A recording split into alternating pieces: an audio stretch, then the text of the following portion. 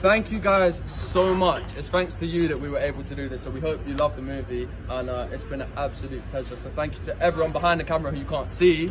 Let's have a round of applause for them quickly. Thank you, because it's not just us; it's everyone else who can make this possible. But so, such a pleasure. Honestly, I wouldn't want you over anyone else to do to do all of that. So thank you. But guys, we hope you enjoy after three and four, and that's a wrap.